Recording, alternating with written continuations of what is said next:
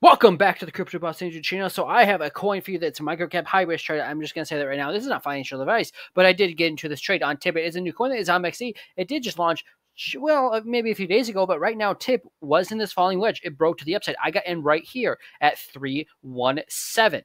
Um, and then I rode this up uh, to what, uh, 41. And I currently have my stop loss at 3 3 and I'm gonna move it up to 333 probably. But right now, it looks like there's a chance it could keep going up. It could definitely just fall flat on its face. Um, it's a microcap coin, so 300k, so it doesn't take a lot of money to move it, but also doesn't take a lot of money to pump it.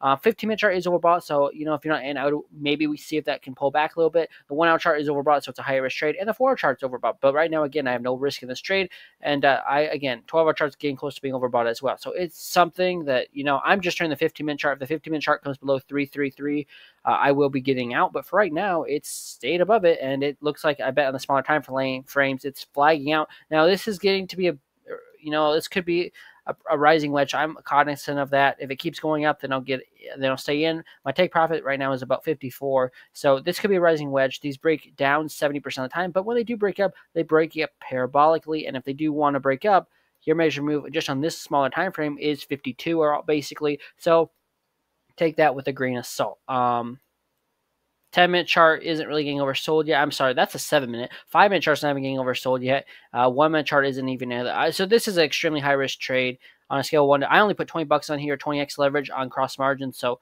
you know, by the time you say this, maybe it's already pumped. But I'm just showing you what I'm looking at.